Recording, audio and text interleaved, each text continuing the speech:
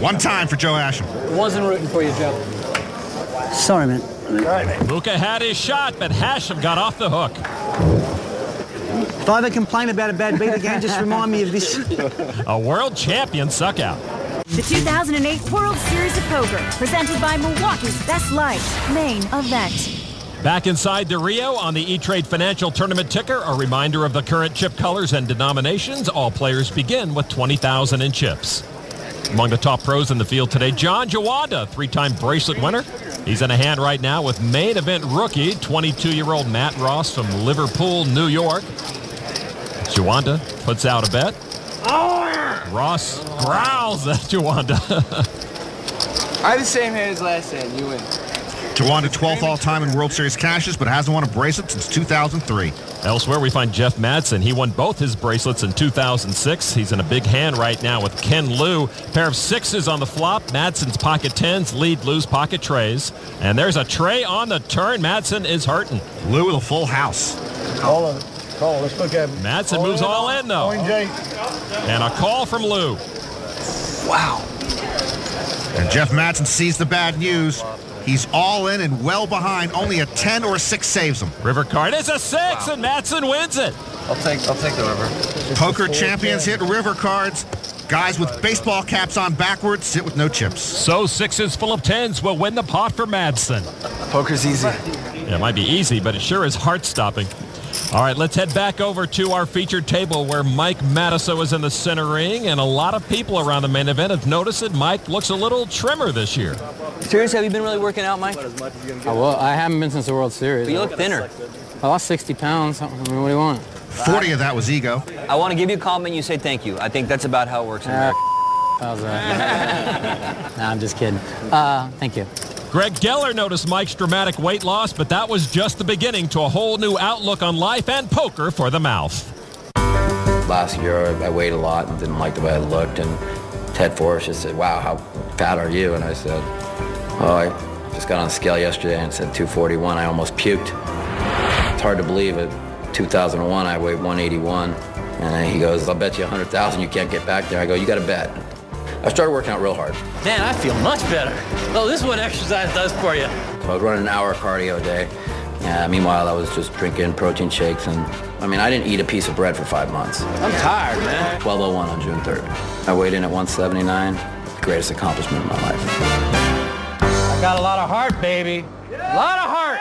I've been through rough, rough times in my life. I've been through mental hell every which way you could think of, and I, I can't ever remember anything more mentally torturous than when I'm trying to make that weight loss bet. Mike's back. Watch out. Last year, it just dawned on me that I'm always negative, so went out and bought a bunch of books on the power of positive thinking, and um, when I accomplished that, I knew I was going to have a big World Series. Yes! Mike, uh, all I can say is I am incredibly proud to award you your third World Series of Poker. When you believe in yourself, and you have the confidence, and you believe in the power of positive thinking, it's amazing. Yeah, the old Mike believed he was the unluckiest player alive. The new Mike, you heard him say it, believes in the power of positive thinking. I just like the all-around new Mike. I'm happy Mike, skinny Mike, love life Mike. Song in his heart. And two hearts in the pocket, ace-king for Matusow. Really a sick structure. And he limps in. Action folds to Greg Geller from Denver. He flips houses for a living. Ace Jack of Diamonds. And he limps in. In the big blind, Kim Vodka looks down at 6-4. I have to check the paperwork on my marriage. Checks are option three to the flop. And Matusow hits top pair. He's got top kicker. Vodka missed that flop. She checked. Matusow checks with the best hand. Geller hit the ace too, but his kicker's no good. He bets 300. Geller likes his aces, understandably. Vodka folds. Matusow raises to seven and a quarter. The new Mike doesn't mind check raising. Geller now with the second best ace comes along. Heads up to the turn. Turn card is a nine of diamonds, a flush draw now for Geller. Matusow checked. 1200. Geller bets it. Sure, if I'm Geller, I think I have the best hand. That's why me and Geller don't win. Matusow has the best hand and makes a call. River card is another ace. Trips for both. Matusow gets the check mark with the king kicker, and he checks again. Geller makes it 3,000. The mouth has to believe it's possible. Geller has ace queen and has filled up. I wish the new Mike would think out loud like his buddy Daniel Negreanu. Ooh. You want to hear what goes through that mind? I also wouldn't mind if the new Mike shaved. He calls. Real good. And Matusow takes the pot. Pads his stack with the help of Greg Geller. Yes. And the new Mike, steady as he goes, stays on an even keel. Yeah, Matusow running good so far. Geller came up just short, and the mouth has even more reason to roar. This is going to be a fun day.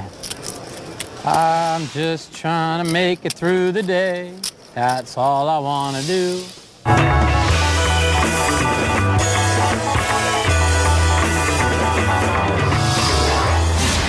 Welcome back to the Rio. Each year at the main event, we meet many interesting people, hear many interesting news stories, and this year is no different. One such person is Mike Wilson. Mike was born without any arms, but that has not stopped him from living life to the fullest, including playing poker. Right now, Mike is in a hand against top pro and recent bracelet winner J.C. Tran.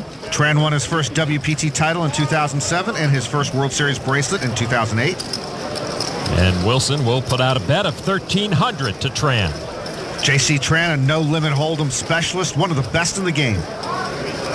Uh, well, Mike put a little pressure on JC, and JC lays it down, and Mike Wilson wins the pot. And I've heard of you before. So Wilson off to a good start. Elsewhere, a man who had a good start and a great finish to the 06 main event, David Einhorn. He finished 18th that year. Einhorn is president of a successful hedge fund and is credited with correctly predicting recent financial trends. What, he couldn't call me before I bought a house in Las Vegas three years ago? It looks like his business instincts are spot on and carrying again over to the poker table. I told you we are going to have some fun today.